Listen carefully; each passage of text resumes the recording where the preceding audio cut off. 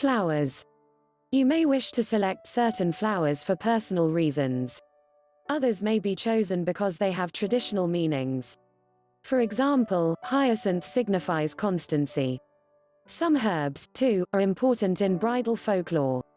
Rosemary is often used in wedding bouquets because it symbolizes remembrance. In medieval Germany, brides wore rosemary to guard against pregnancy.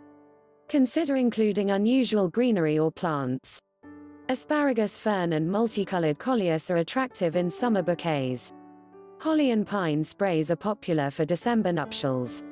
Stalks of golden brown wheat are a sentimental touch for harvest brides.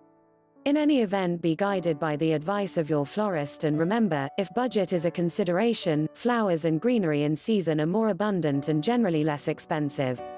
Silk flowers are an equally beautiful alternative to fresh flowers. Manufacturers now produce nearly any type of blossom or plant in fiber form, the bonus is that these exquisite imitators bloom forever. You'll need a number of other floral pieces for your wedding, including displays for the altar, centerpieces for reception tables, sprays for candelabra, corsages for those who assist with various reception duties, and floral tokens for special guests. Ask your florist for guidance. Their artistry, knowledge of wedding protocol and ability to listen to your needs will ensure that you'll get good value for your money, and have the perfect floral accents to enhance your wedding day.